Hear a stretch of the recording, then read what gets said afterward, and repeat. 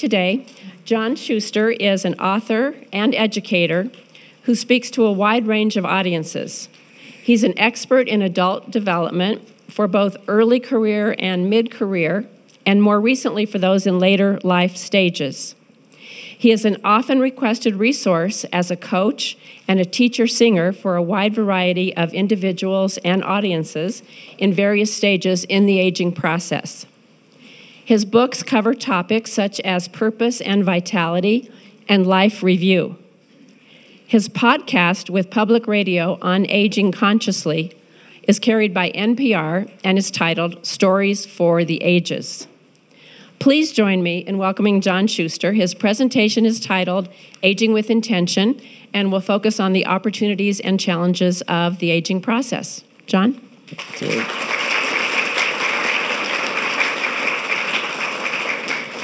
Thank you so much, Terry. And after that kind of, of uh, introduction, I, even I want to hear what I'm going to say.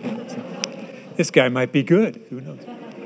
So uh, it's really my pleasure and honor uh, to be here today. I mean that. Thanks for showing up in such it's such uh, nice numbers here, and that means maybe the topic is really worth going after, especially because our society is not so good at teaching about the positive ways of looking at aging.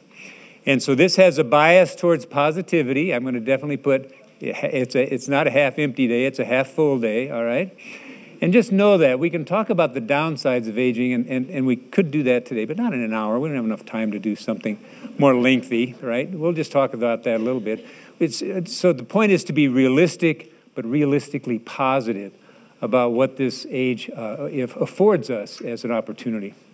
So that's by way of introduction. Um, my research on this is mainly reading. I've read gerontologists and I've read geriatric people, and it's out there. It's, a lot of that's kind of dry, though, but the, uh, the books I put on that book list, for those of you who took it, tend to not be dry. They, I tried to put at the beginning, at the top, they have, a, they have a tilt towards spirituality and psychology, which is a lot of the things I've had interest in. But, uh, it, but not all of them. Some of them are pretty, pretty factual. And, and, and if there was one I'd read on there, if it's for starter, it's the one by Joan Chittister. I think it's called The Grace in Aging. Somebody knows it. There's a smile back there. And it's, it's probably the easiest, most uh, positive read out of all of those, but I'd say all of them are worthwhile. So uh, take that for, for if you'd like to take, uh, take a, something away from this. Um, my research really is talking to older folks and getting older myself. I'm 75. So I started this when I was in my late 60s, and that was I didn't really qualify until I turned 70. I felt good to turn 70. I said, no, now I can talk about aging better. But um, and there's uh, well, let's do a little show of hands here, if you don't mind. Uh, who is there? Any, there's some 60 somethings in the room. Any 60 somethings? All right, all right. Let's hear it for the 60 something, because that's the that's the, that's the group that's called the the younger old folks, the younger old folks. And, uh, and then who's the, who's the uh, 70? Let's see, the 70 something. All right, a lot of 70 something. All right. 80 somethings. Let's see the 80. All right, some 80 somethings. All right, 80 somethings. All right. So it's, it's, it's called, the, the young old are called uh, uh, go go. They're the go go. Then there's the, uh, the, the mid age, that's the slow go. and then the, the 85 and above is the no go. They're the no go. And, uh, but that, but, but think of that as, as, a, as a quick little label for like, like how, pe- how people take travel. So a lot of people want to travel, travel, travel, and they do a lot of that. I know I, I know a lot of did that when I was young. And now it starts to slow down, and you start to, you know, shift your view of, of your mobility and what that's all about. And so, so th- that phrase is not just meant for, you know, for humor. And there, I know plenty of 80 somethings who are defying the, the, the, the, no go, but they're still active as heck and running around and doing stuff. And I know plenty of 60s who want to, who want to do slow go. And um, so there's, there's all kinds of ways to approach this. And uh, I've tried to give you a couple things to, to get started with. So, so here's our, our, our, summary comment. I think in the old military model of training, remember, it was tell them what you're going to tell them, tell them, and then tell them what you told them, right? So, so that's how we'll summarize. But this would be the summary that are, are you going to get old or are you going to grow old? And what that means is the growing process is a developmental process. And we're going to, we're going to, we're going to use that positive half full frame to look at what are the possibilities for continuing our growth Uh, and, and here's the four, I'm going to give you four things. The ones that are in red are the ones that you can say, okay, that's what we're going to talk about. Humor and fun as an asset. So we're going to talk about there's a lightness of being that really helps in this aging process instead of getting grumpy and grouchy and saying, "Oh, it's all going I'm all going down, it's all downhill." Remember when you got black balloons at the office when you turned 40? What, what was that about? If you turned 40, you, if you turned 40 today, you'd celebrate, say, "Man, this is great." But but uh, you know, there's there's such a negative frame on aging that our culture continues to put out there, and, and some of it is in, in good fun, but some of it is pretty negative after a while. And then relationship as a source of connection and love. You don't need to say much about that, but it really is huge. And with the isolation problem gets gets significant for for elder people, um, and uh, so that becomes important. Learning as a source of vitality. So how are you learning? And what are you learning? There's so many. That, why do you watch the History Channel so much now? Saying, oh, I love the History Channel. It's, great it's because you've had time now to learn about the human story. Saying, this is great. I'm expanding my sense of, of uh, what it means to be a person today. It's great to know where you are today and where you're going forward by understanding where we have been as a, as a, as a species. Spirituality and a spiritual life as a guide. I, am not going to make this a, a, a, a faith centric presentation by any means, but it's very faith central, faith, uh, uh faith friendly. It's a faith friendly presentation because there's just good research on the notion of, of however you want to go about your spirituality, and we'll give you a few of those options later in terms of talking about it. But that's a big part of, of what we'll talk about. So those are the four big thoughts that you'll, you'll see those weaving in and out. And I won't do justice to any of them, but hopefully get touch enough on all of them to come together and, and make some sense for you.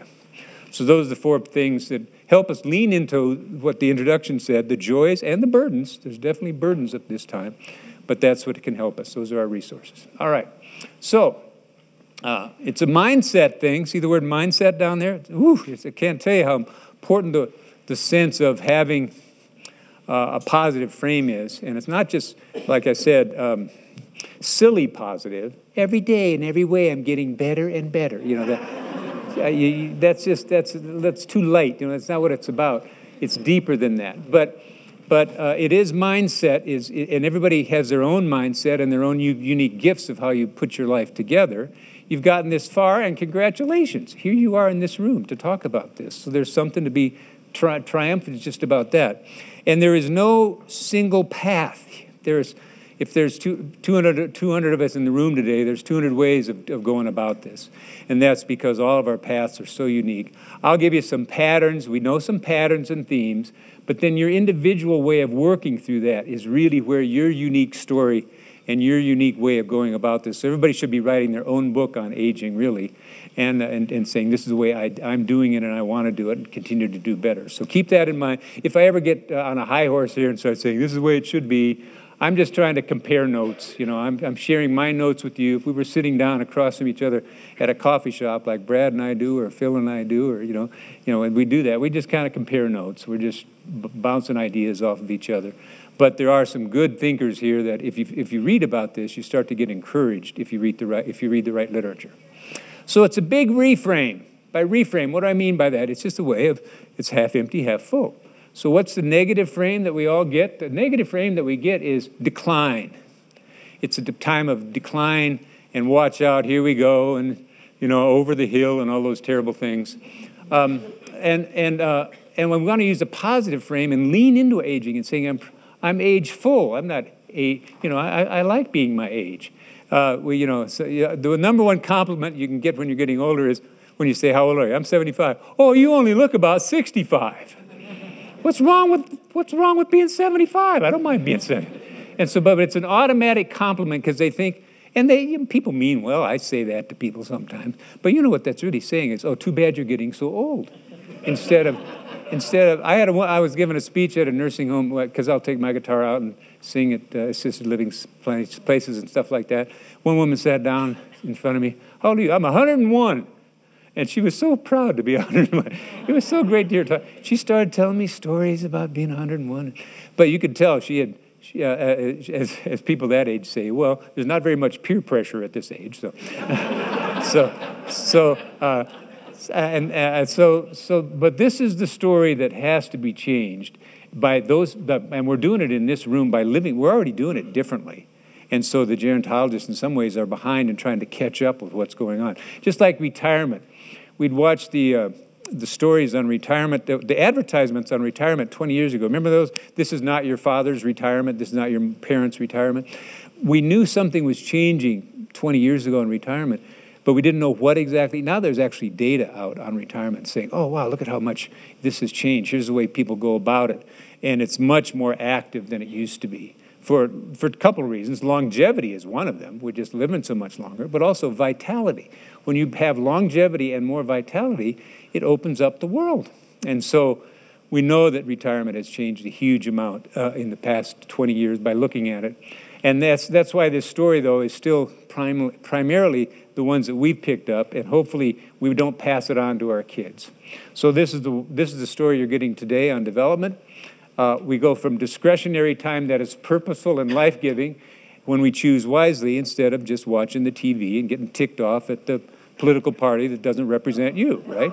Because that's what the media wants us to do is get grumpy and mad and angry and think we're going to all die because the other people are all coming after us. And, you know, don't buy into those extreme things because it's not healthy for us to, to get, uh, to let other people make us angry. So what do, what do we do with this wonderful gift of discretionary time is part of the choices that we have to make. All right. So um, I've got PowerPoints I'm going to get through here. I'm going to have my wife. Oh, you should meet my wife, by the way. This is Patricia Kane in the back. She was my, she was helping out back there earlier. Hi, Patricia. And we've been married, uh, we're in our 38th year. And, uh, and uh, she's, she's my aging partner with me. I see some of you came with your partner today. That's wonderful. You, some of you may have already lost your partner and are into your a new stage of life. That happens a lot in the widow widowhood, widowhood thing. Um, but um, uh, my discretionary time partner is Patricia, and we've been having a great time. The reason I'm in Parker, I've been here less than four years, is because her family is out here. So I'm the trailing spouse and it's fun to, to be out here and be exposed. How could I not enjoy being in Colorado? We came from Ohio, and that's how long I've been here. And everybody has their own version of what's happening in your aging process and where, how you've chosen to use your discretionary time. I'm going to give you a couple of reframes right now from uh, uh, this to get into the, some of the, some of what's in the books here. I think this book is on your list. If it's not, it should be. Look look on that book list. Is is this book on the list? Just great title. Can you just read this title? What are, what are old people for? Is that a great title? It's a great title. And I'm going to give you a phrase from him. It talks about, as you know, when you get older, you start to walk differently. And, and you can even start to shuffle and go slow. And, uh, with, and I, I remember when I used to look at a, at a, when I was like 60, I'd look at an older person and they'd be going, shuffling along there and say, oh, the poor guy, can hardly move. Well, listen to this doctor. This is that the, the, the geriatric guy that wrote the book. um, what are old people for? He says, listen, and, and listen, I'm going to read a paragraph here, so it's a little long, but it's worth getting his view of what it means to be getting older. Compared with the fluid stride of youth, uh, the, the, the marks made by the older person can seem tentative and ungainly. This appearance is deceiving. The reality is that older people execute a highly evolved, richly detailed strategy that maintains upright ambulation into the last decades of life. Old people alter their gait in special, uh, in special ways in, in, of coordination, sensation, and reaction time. The shuffling gait keeps the feet close to the ground and maximizes input from position sensors. The stance is widened to improve balance. The number of steps taken per minute is decreased to accommodate changes in endurance and to allow for increased re- reaction time. Keeping a human body upright and moving is a spectacular feat of coordination and reaction under any circumstances. Doing so in the ninth decade of life magnifies rather than diminishes the beauty of this achievement.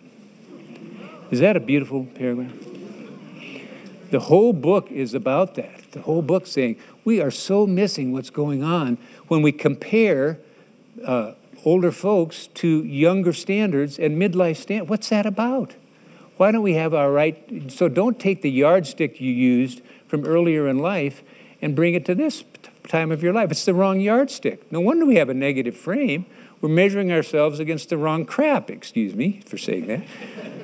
I knew I'd get colorful today. Remember, the, I don't represent the Pace Center. They would, they would never say crap here. So, okay, so, so that's the one on aging bodies. Here's the one on time. I like this one on time. This also is a book. This is a book. The only book that's out of print on your list is uh, called uh, "The Joy of Old." But this, I had a great mentor. I was 39 years old when I first heard the phrase uh, "second half of life." I remember thinking, "Well, what's that? What's the second half?" You know, you're 39. You're clueless about you know, you just think people get old. But there was some, I had a mentor who talked about the second half of life. He wrote this beautiful thing on time, the, joy, the, joy of, the joy of old. To successful elders, time is a precious gift. Uh, what was commonplace in earlier years, a walk in the garden, a sunset, a talk with a friend, is imbued with wonder and magic. We want to fill our days with appreciation of the commonplace as wonderful. Elder time is on loan. We see it as more life, more opportunity, more daily adventure, more beauty, more human connection. I have only today, says the woman in her 80s. I may be gone tomorrow. There is a paradox in elders' view of time. Time is running out, yet there's no rush. Wrapped in the essence of life and pursuing only values of highest priority, elders proceed with a sense of leisure. The midlifer is the begrudging engineer of passing time. The elder is a generous user of borrowed time. The midlifer faces deadlines and turns to work. The elder faces death and turns to life. Right? Another great frame. So that's part of the reframing thing is where, where, where have these people been? Why, why you know, why do they have to be obscurely, you know, uh, uh, uh, so, so, so, hard to find? And they are hard to find because you won't find them on, in the main media except you'll see you know, what we get instead is 92 year old guys who can still water ski. And you're supposed to think, oh, that's it. That's it. I want to be 92. That's, that's you know what they, you know what the, uh, I've heard that called? I've heard that called aging pornography. it's a substitute for the real thing. Substitute for the real thing. It's not, that has nothing to do with our inner life. Aging is an inner game. It's about our head and our hearts.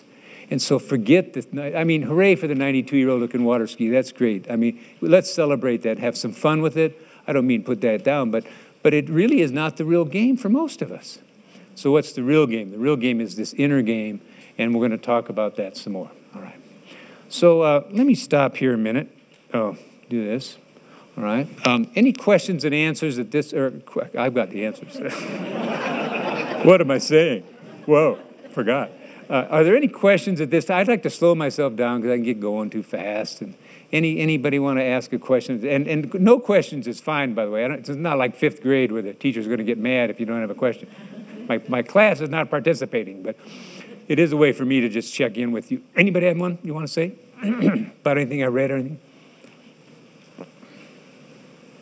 Going once. Hey, all right, a brave soul. What do you what do you say? And I'll repeat the question, so don't worry about it. Uh, if it's too soft. Curious as you what you did previous in sort of professional life, and then how was the transition from the professional life, whatever you're doing today, or, or it's just is uh-huh. natural yeah. Yeah. The, so the question was. Uh, and first of all, let's give that man a book because he asked such a great question. Patricia, give that man a book. All right, all right, there you go. That's it. All right, uh, he got the he got one of the books. Well, I'll talk about the books at the, in, at the end here, but um, the uh, uh, my, my life has been in the human development business because I got into leadership development at about age 30. I had, I'm a child of the 60s. I was kind of a lost soul. I joined a cult and stuff. So that interesting, interesting past that you don't really want to know about. But, uh, but anyway, I settled down and got a career. And, and, and by age 30, I got into uh, training and development of leaders and managers. And I'm still doing that today, believe it or not, but on a part-time basis. So I'm semi-retired. How many of you are semi-retired right now and still, but still working? Let's just do a show of hands. 25% of the people over 65 still work. And I thought it was even be higher than that. I think in my field, maybe it's more.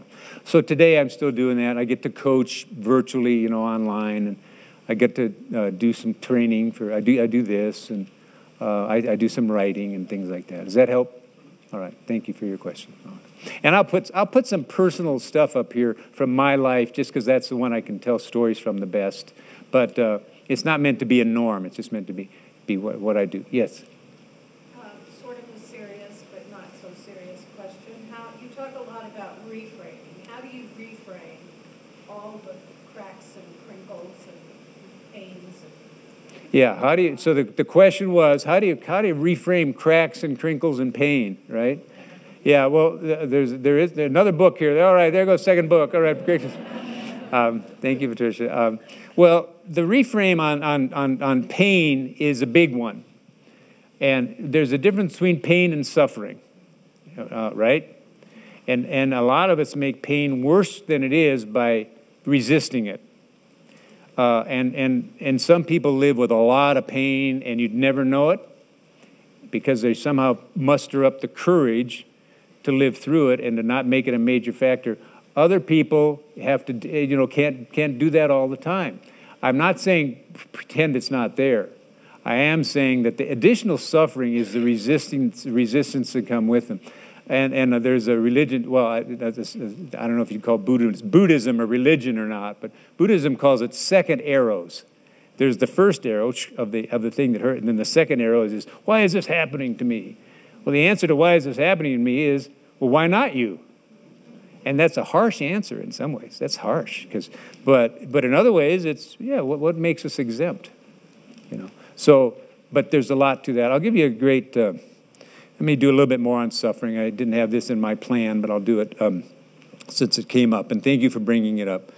Um, um, there's a, I'll just give you the poem. I won't give you the, the long, long story behind it. It's been used in American history in beautiful ways. But there's a Greek, a Greek poem by Aeschylus that goes like this: Even in our sleep, pain which cannot, which can, uh, even in our sleep, pain which cannot forget, falls drop by drop upon the heart, until in our despair uh, and, and against our will comes wisdom with the awful grace of God. So I don't know if poetry helps you at all there, but it's somehow because some people says poem is great and has many gifts. Clarity is not one of them. So, so poems can obscure stuff, but that notion of somehow pain can't forget until I somehow see why make meaning out. We have to make meaning out of it.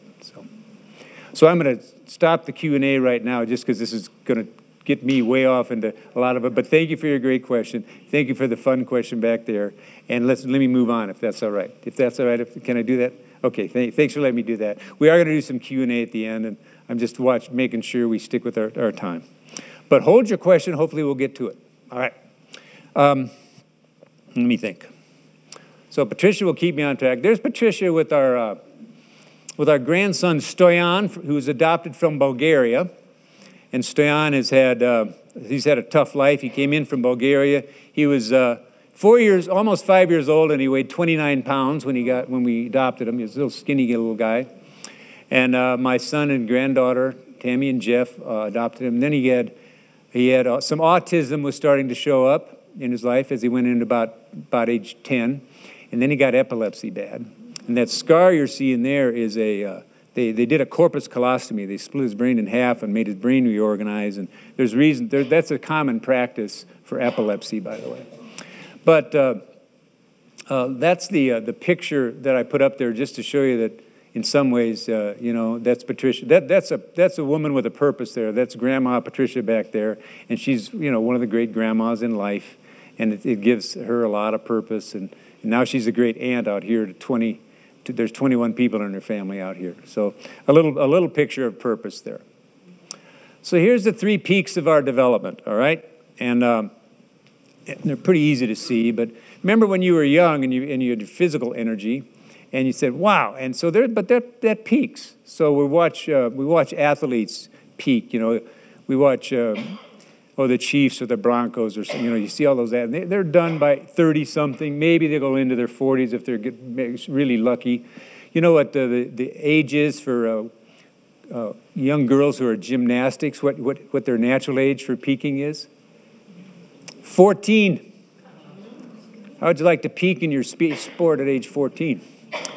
Uh, so so physical energy is, is one that peaks, but maybe, you know, you can keep it going a long time, and some of you might still be runners and away for that, and, or at least joggers or walkers or how many pickleball players? We should see the pickleball players in the room. Right? There's pickleball players in the room, right?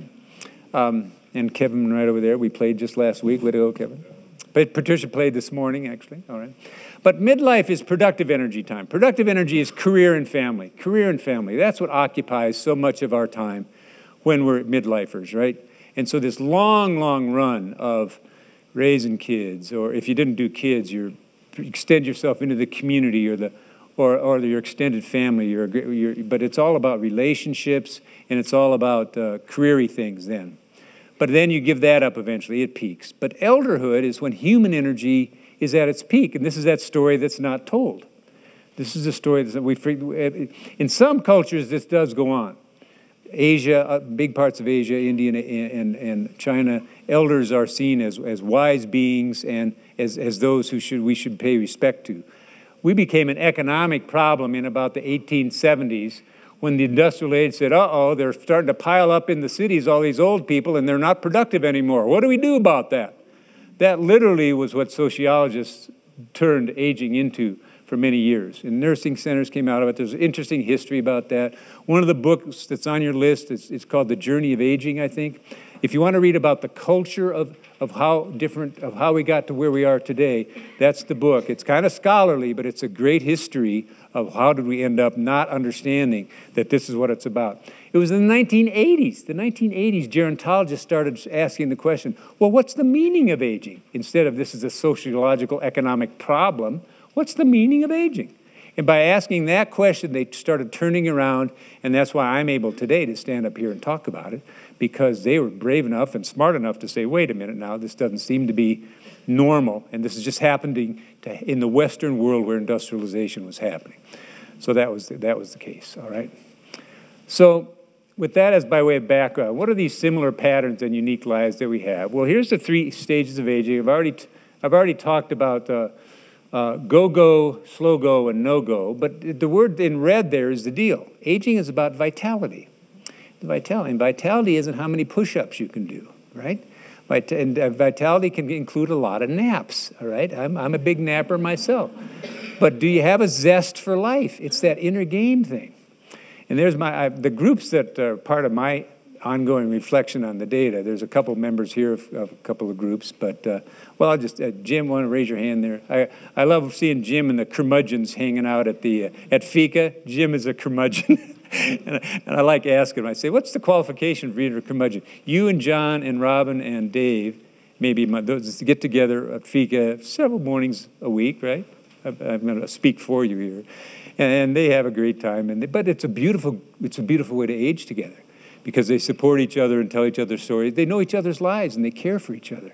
And I get to pop in and they let me pop in. It's kind of an honorary member. I'm not up there as often as they are, but it's a beautiful thing. And uh, that, that's, that's one of the groups I would call as one of my databases for it. Now, the curmudgeons, they, they, they, may, they have a high sense of humor. They say, well, for our group, you have to be kind of grumpy. Uh, you got to have, uh, you got to be critical of others. Uh, you, uh, you have to be uh, not well informed, but have lots of opinions. isn't, that the, isn't that the fun little thing to do? So thank you, Jim, for bringing that. uh, so that's an example of ways we can be in groups. I'm in a group with uh, 70 and 80 somethings with one 94 year old guy who's the happiest guy I know. Literally, he's ready to go. He's, he's, he's, he's been in a wheelchair probably the last five years, but uh, not pain free, but he, he, he, struggles with pain and he's had many hospital incidents and he's, he's had two. Uh, he became a, a, widower, widower about 10 years ago, but he said, I'm the happiest I've ever been in my life. And he got asked, what do you, How did you become the happy? He said, I know who I am, I've never been closer to God, and I stopped struggling. I'm peaceful. He's ready to go. I think, man, that, there, there, there's a human being. I want to be around him. I always want to be around Phil when I'm back in Columbus. So that's that group. That's a cool group. The 85 year old woman in that group, she introduced herself the other day on that call. She said, Well, I'm still healthy enough to drive my friends to the doctor. you know, so that was her marker for it. And, and Patricia and I interviewed back at a nursing home about 10 years ago, three 90 year old women. And they talked about being 90 And I said, what were the hardest times of, uh, in, in your 90s? All three of them had had their keys taken away by their kids. And because they couldn't drive safely anymore. And they all said that was such a blow. But, but I'm glad, they all said, I'm glad they did it because I wasn't safe anymore on the road. But they talked about that as being a marker in their life, right? So that's the way I picked up my, my research on, on what it's all about. So what it's about for these patterns of, of and uniqueness, we all have to let purpose somehow find us, like like grandparenting and volunteering, like the picture with Patricia. And I've already talked with you about a little volunteering today, uh, a little bit. But volunteering tends to be a big part of this, but also just hanging out with your family, being a great uncle, or being a good neighbor. Do you like your neighbor? Hang out with your neighbor, you know, talk to people. And, you know, what's wrong with that as a calling? You know, it's, it's these beautiful things we can do in the community. Mainly it's things like being kind and, and, being, and, and being friendly, you know. So these are the things that, that you generate from the inside out, in spite of the pain, in spite of the pain, if you can muster up the courage to be kind and gentle and friendly to people, uh, who you, even the ones you wouldn't normally extend to, that tends to be the key to so much of what this is about. So, see what my picture is here. Uh, this might be a, a, bad picture of me. I can't tell. Yeah, that's. that, so I put that in there to show you that this little band-aid on my head, you're seeing, this guy has a cool, oh, there's, there's my friend Jeff. Jeff, Jeff has just had his Mohs. How many of you had Mohs surgery? Let's see the Mohs surgery. All right, a lot of Mohs people in here. That's one of the, uh, it's, it's one of the, uh, I think, rituals of getting older. That, how many, I've had, I had about, I think, 17 Mohs now. I, but but I, I, was feeling sorry for myself until I walked out of Mohs with this the other day, about three weeks ago, today it was. And a guy said, "This is my 60th Mohs." He played. Uh, he was a he was a caddy, and he played a lot of golf without any sun stuff. So, so I I said, "Okay, I guess I won't complain any." But. Uh, uh, but but that picture was there just to remind me you to talk about that a little bit. Just one more of these little nicks, the, the, the dings and the and the and more than dings, the really severe suffering that comes sometimes with with aging. But we hey, move, pick yourself up, move on as best we can. That's how we do it. Um, all right. So there's that picture. Oh, that was four, that was a 45 stitch day about eight years ago, by the way. And those are the, they put pressure bandages on you. They, they were you could, but but they did they used to be able to do horizontal cuts of my forehead until my eyebrows started going up. And they said, well, we can't we can't do that anymore. So they did a vertical cut here. So. All right. So um, the quality of your life is determined by. Let me go back to that one. This is this is probably a, an important one to remember the quality of your life is determined by, there's probably lots of good answers to that question. Anybody think of an answer to that question? By what? Good choices. Good choices, yeah. Good decisions. That's a good answer. What's another one? Attitude. Good. What's? How much you enjoy your life. How much you enjoy your life, quality of your life, yeah. Good health. Good health. Finances. Pardon? Strong faith, strong faith, yeah. Relationships. There's all kinds of wonderful answers to this. My mentor, the same guy that said, um, that said, what, that used the phrase second half of life when I was 39, and he, was a, he said, uh, the quality of your life is determined by the quality of your inner dialogue. Are you talking sense to yourself? Are you talking sense to yourself? And so, what we really need to do as we age is we need to change the scorecard from midlife and youth to what's my new, and then am I, can I talk to sense, sense to myself about what, what, my, what my life is, is, is about right now? Good, good thinking leads to good decisions, mostly. There's no guarantees, there's always risks. But good thinking is part of that, okay, I got the, I have the capacity to think this through and to make meaning out of things that wouldn't normally make meaning if I, if, it didn't, if I didn't do it. So here's some strategies for you. I'd say these are strategies we can use hold on, take on, let go, move on. All right? So this is the funny part. There's a paradox in getting older. There's certain things you want to hold on to. So what was it about my, my youth that I'm able to carry forward? And I watch a lot of people in their late 60s and early 70s with this one. And their entire strategy and their entire scorecard for are they aging successfully is as many midlife activities as I can carry forward as long as I can, I'm successful. So if I played tennis back then, I'll play tennis as long as I can. If I lifted weights, if I worked hard, if I worked hard, if I bring home a paycheck, if I and I remember, you know, so and, and that those are the career things, but you can do the same thing with health. You can do things with if I can spend all this time with my kids and not get tired and not, you know, all these all the things. You just hold it, hold yourself to this earlier. St- so hold on. That's a good strategy. The problem with that strategy is eventually it's not going to work. You can't keep doing that. You because you're still holding on to the old metric. So what's your plan B? That's the question. What's the plan B? And that's where the inner game kicks in. And instead of playing the outer game of activities and here's what I can do, you start playing the inner game of here's how I learn, here's how I generate kindness. And this is where substitution comes in. I used to play tennis, I'm going to play pickleball, right? I used to go out and drive over to uh, you know, up into Evergreen every day or every every twice a week to see my friends. And I can't do that. I don't like driving to Evergreen anymore. I'm, I'm going you know, to stay close. To, we're going to Zoom with them once a week, and I'm going to find new buddies close to home, right? And and so you start substituting. You start doing. So that's that's what the hold on is about. Take on is what new learning, what new things come into your life, what new friends. There's interesting research on this. If you make friends, the intergenerational friends the more, the more friends you have that are older than you, younger than you, the happier you are. It's just research on that. Friends are a big part of it. And, and younger people are, are, are, are, they're, they're eager to hang around you if you're vital. If you're, if you're grumpy, of course, nobody wants to be around you. Let go. Let go is the big one. Let go is hard to do. This is, this is what we have to get better at usually. And there's usually some pain involved. Patricia said to us about, to me about four, four, four plus years ago, let's go to Denver. I said, really? Do we have, do I have to move again? I mean, but she said, no, I think it might be good for us. So she just, she gave me all kinds of freedom as to how to, how long to take, and but it was really it was really time to come out. I was I was happy to do it. So I said, okay, we'll go. And I just got rid of the apartment that we had there, one bedroom apartment, uh, about three months ago, because she let, I had this gradual coming out to Parker. So that was my my let go process of Columbus, Ohio. And then I'll go back to Columbus uh, later on this week to see some family, but I don't stay at our old apartment. It didn't make sense anymore. So you move on. So hold on, take on, let go. What's your combination of these things and how you mix these up is a huge part of the strategy, common sense strategy. And you could literally have a whole session just on those those strat and give yourself examples of what have I done. Have I brought new music in, or just do I still listen to my same old country hits that I love? You want to hold on to some of the old country hits. You might want to bring in some new music. One sign of aging is, by the way, you don't change out your music. You don't you don't pay any you don't pay attention to new to new art. Now this is a picture of me. There's my son Dave when he was about he's a teenager. He's 43 now. He teaches. That's me in the middle when I had hair and fewer scars. This is my cousin Dick Schuster. He has Parkinson's now. That's my dad. Hey, Paul. Paul died at age 83. He's probably about a, only a year away from his death there. Those are my two cousins and my two more cousins there over there, my brother-in-law. And that's my 50th birthday. I just show you that just to say, you know, that we've all moved on.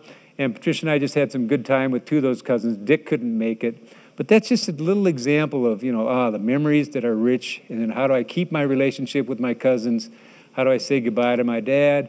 That's one of the big markers of aging, right? When you lose your parents, empty nesting, the kids leave. Now here we go, right? So just a little picture of that strategy and, and how it works. Um, let me think here. I'm going to have a little time with some, a little ending with. Uh, uh, I've got to make sure I end this on time, but um, I like this little quote. This is a quote by itself. In the end, only three things matter how much you loved, how gently you lived, and how gracefully you let go of the things not meant for you.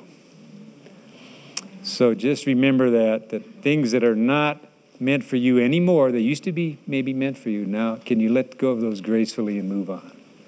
So I love that little quote. And that's from uh, Jack Kornfield, I think his name is. Yeah, Jack Kornfield. All right. So, um, so become a smile millionaire, right? This is the inner game in, in, uh, in big time. So this is the the moment by moment joy that you're able to generate. I'll give you a little bit of the science here. Um, what we know about is that uh, if you study the quantum physics world, a lot of you probably been reading quantum physics recently, right? there, one guy has. Yeah, all right. For, former physicist, maybe, or mathematician. mathematician all right. Former, all right. Current, current mathematician. All right. So I knew there's one. There's one quantum physicist there. But but when you read about the nature of atoms and the universe, what you discover is everything's vibrations. This looks like solid, but it's really just vibrations that are slower than other vibrations. and we call it solid. Our senses pick it up, so we call it solid. But if you go down deep enough, it's all vibration. And so just, just expand that out and think about love as a vibration, joy as a vibration. And I think our real job here, if I could nub it down to one thing and we only had one hour to talk, it would be how much joy and love are you putting out in the world? That's really it. And just generate as much of that by minute by minute as you possibly can. That's what it's all about. And it comes from the quantum physics world. And so I got to give you this little, this little uh, fun little poem about, about smiling. It's, it's called Smiling is Infectious. Smiling is infectious. You catch it like the flu. Uh, when someone smiled at me today, I started smiling too. I passed around that corner and someone saw my grin. When he smiled, I realized I'd pass it on to him. I thought about that smile, and I realized its worth. A smile like mine could go all the way around the earth. So if you feel a smile, don't let it go undetected. Let's start an epidemic soon. Let's get the world infected. so the simple act of smiling can, in and of itself, I think, be the biggest single act of the biggest single choice we make to stay on the side of joy and to stay aside on the positive vibrations. And that's why the media is so negative for us. Because if you get cynical, uh, you're in a bad place. There's a real uh, short little difference between, um, small little difference between wisdom and being a grouch. And what it is is half empty, half full. Because the uh, uh, a, wisdom, what happens when you get older, you see patterns more quickly. Are, are you aware of that? Think of it this way a young person comes up to you, uh, in maybe some, something at the, some community group that you're involved with.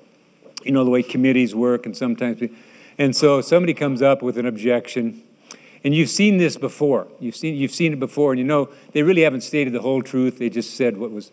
And so, because you see that pattern, you can see it. and you know, you'll see it within seconds. Just, oh yeah, I've seen this before.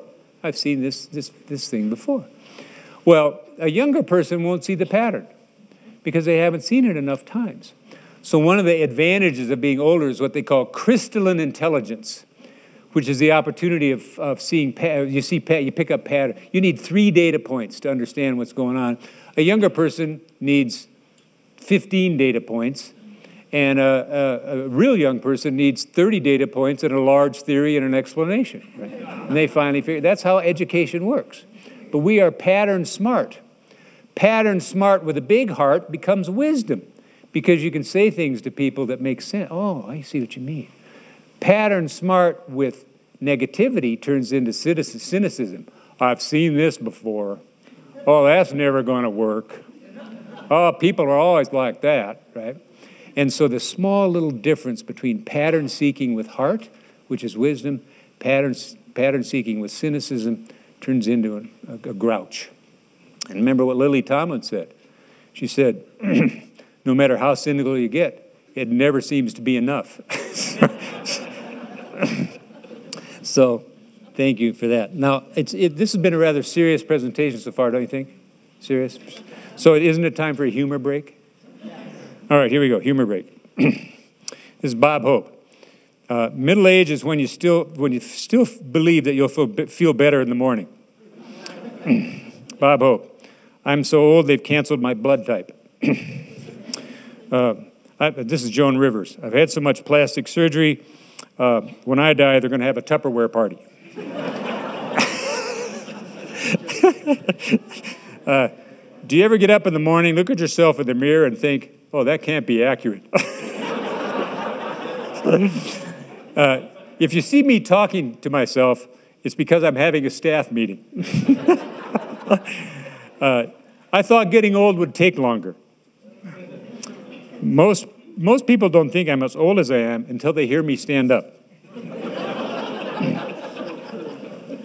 Rita Rudner, who was here this year.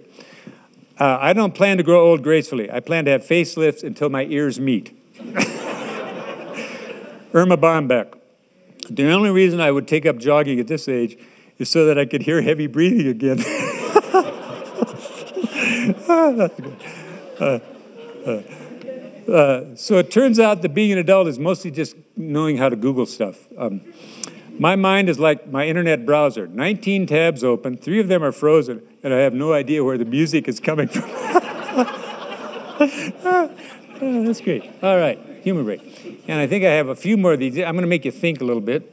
These are going to be the next ones. All right, if you can, you ever seen these? They're called lexophiles. You can tune a piano, but you can't tune a fish. Try it with a broken pencil is pointless. All right, I'm going to give you one, and you're going to have to think about these. All right, here comes one. No matter how much you push the envelope, it'll still be stationary. All right.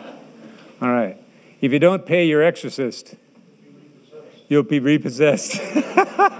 Thank you. Our physicist back there also studies strange things. All right. And uh, I'm reading a book about gravity, and anti-gravity, and I just can't put it down. All right, good. All right. All right, good. All right, so those, that's our humor break. That, we, had to, we had to make sure that. But that's that whole notion of be, be a smile millionaire. How do you keep yourself on the lighter side of things as you go through this? People so appreciate it. And I'm going to close now with a couple more thoughts. That's me with uh, my sister Elaine on my right, and Aunt Dorothy, who died at age 95 about five years ago, exactly. On, on Dorothy's 90th birthday, um, we sang a, we, I sang a song to her that you'll know. It's about mindset. And my sister Elaine has Alzheimer's. She's now about nine years into Alzheimer's. She may be memory carrier for her this year. We're not sure. And uh, it's a it's a it's a quite a long long decline. She was the superintendent of the Catholic school system of Chicago at her peak, and uh, she had 300 schools underneath it. There are only two public schools bigger, two public school systems bigger than hers in the whole United States. And uh, so it's been quite. And she was a wonderful older sister and and she don't have, you don't have meaningful conversations when you, with her anymore, but you do have meaningful connection. The connection is, is still beautiful and, and wonderful, and as long as you can put up with repetition, it's, it's, it's, it's, it's good to be around. On, on this song, for Mindset, you'll know it. I'm getting a little dry here, so. But there's a song that you'll know that came out of the. Uh, um, our parents used to sing it, I think. Uh, but it's a, a beautiful song, and I'll just sing a little bit of it uh, to remind you a little bit about the mindset thing. It reminds me of my of, of, of these two folks because they're, they're they were both young at heart. My my older sister's still young at heart. Fairy tales can come true. They can happen to you if you're young at heart. For it's hard you will find to be narrow of mind if you're young at heart. You can go to extremes with impossible dreams. You can laugh when your dreams fall apart at the seams. And life is more exciting with each passing day. And love is either in your heart or on its way. And a beautiful song. So, thank you, thank you. Thank you. So, uh, So that's the mindset you want. So you can go to extremes with impossible dreams, they can fall apart and you can still laugh about it. The end of it is, and here's the best part you'll have a head start if you are among the very young at heart. You know, so, so we all, don't we all want that head start, you know, being young at heart? So vitality is not how many Botox operations you can have and whatever the industry is trying to sell us. You know, that's not, uh, it's about vitality. It's being young at heart finding the, the little child in. The good news about getting older is every age you've already been, you bring with you. So bring your 10 year old and bring your 25 year old and bring all the adventuresome and all the fun and, and then integrate that with the person you are now. And that takes some work, but you know, there's still parts of you that aren't particularly well finished yet, but that's all right. well, that's like the little line from one of my, one of my good friends who said, uh, You're perfect just the way you are, but you could use a little work. So isn't that the paradox? It's the paradox. We're all perfect the way we are, but we all need to keep on working. So we're ready for that. Um, let's do a little Q and A here, and then I might do one more little song at the end. Yes, ma'am. I'm wondering what your opinion is retraining your brain on something and how long it takes. Retraining your brain. The question is, what's my opinion of retraining the brain and how long it takes? I'm not. As, I don't have much expertise in that area, man. Um, but I know it's, I know it's possible. And uh, I know that uh, the, there's experts who could probably who, who know that work better than I do, and who could probably tell you this you can do, this one's going to be harder. Uh, but I'm, I'm taking on some things now uh, that are, I'm putting significant effort into it to try to retrain my brain to more more peacefulness. I'd, I'd call it prayer and meditation, but a long time now. So I wish I had a better answer for you. Thanks for the question. Yes. Can you give your reading and research Yeah. about aging? Were there differences in either cultural expectations or experiences for men and women? Yeah. The question was, uh, are, what's the difference in men and women culturally between uh, uh, aging, aging for men, aging for women? The answer is yes, and it's too big a topic to go into right now. Um, but aging is often harder on women on the outside because of the physical pressure to look younger. You're always supposed to look like a princess with long blonde hair and be kind of, but but men men's is is often and, th- and this is very uh, uh, it doesn't make, it doesn't hold anymore. But men's used to be about productivity and uh, still being able to you know do do that. But now it's all cross gender and, and it's, but but yes, there are differences, and some people talk about the differences in female and male brain. That's real. Yeah. Diane. I would love to see that slide, the three things that, because I can only remember two. You only remember two. All right.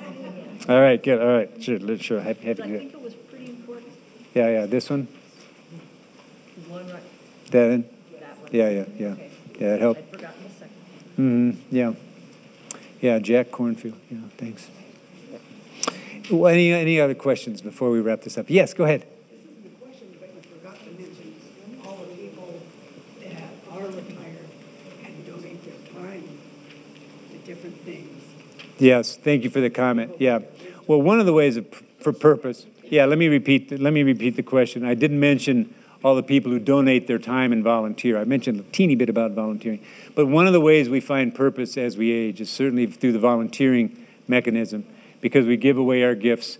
Uh, if you answer your call, you do three things. I might as well mention a few things in the back. There's a, the, the, the, the takeaway. If you want a little thing on calling, and your purpose. That's what the little card is about. We've given away some of the books. The books are not for everybody, but it's called Life Review. When you do Life Review in your life, uh, it's because you want to go back over your memories and you want to either pass it on in a memoir form or some of us have some forgiveness to do. We have to go forgive others and, we, and we'd like to uh, be forgiven by others. They'll have those final conversations before. So there's lots, lots of work that goes into healing work that can go into life review, and that's what the book is about. And then you already got the book list, so that, that's what's in the back. And Patricia's got a monitor, and I didn't bring enough for everybody, so sorry about that. Yes. Um, I'm curious about the grace of aging, and uh, we're fairly new here, so I don't know what spiritual um, resources are out there. Well, uh, the, that Grace of Aging book tends to be more Buddhist, but a, uh, but it was a woman that was Catholic that studied, that got her PhD in psychology and then studied Buddhism as a type of psychology. So that's what the Grace of Aging, the book is about, and the question was about that particular book that's on there. And I tried to notate that, didn't I? You know, there's, little notations by everything, yeah.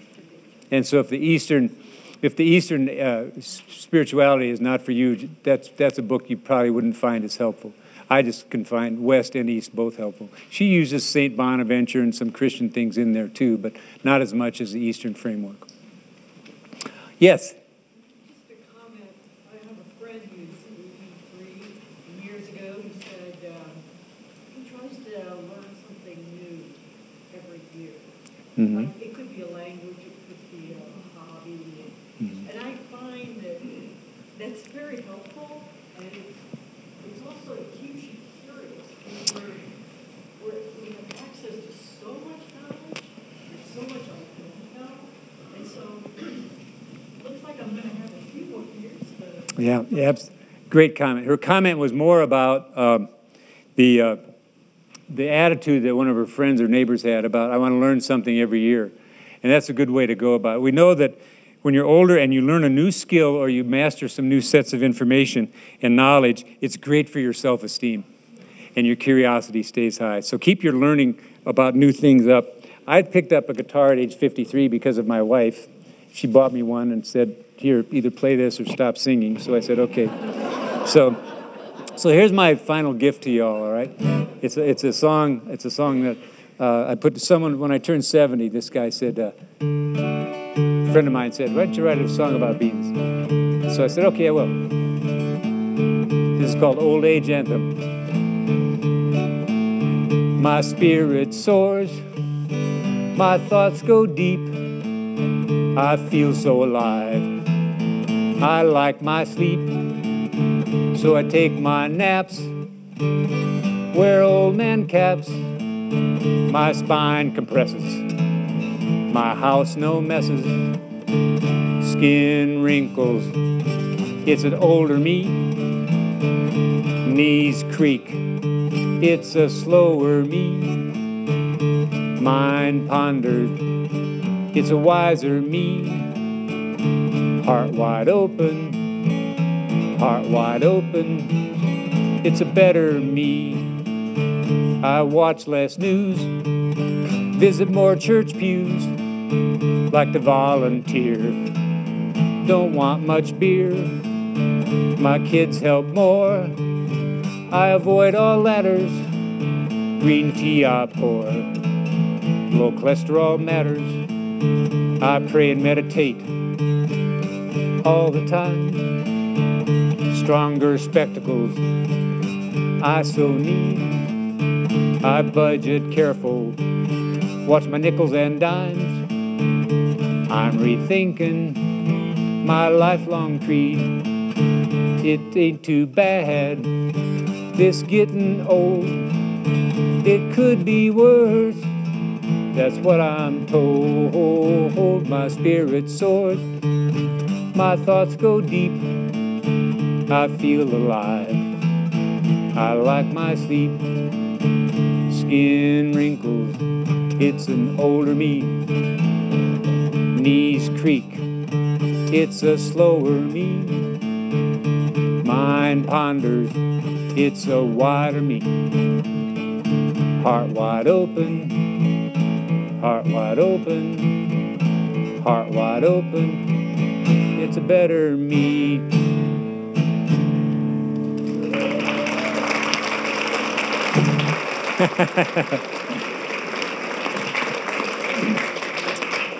we are adjourned. Thank you for the opportunity to be here today. Really enjoyed being here.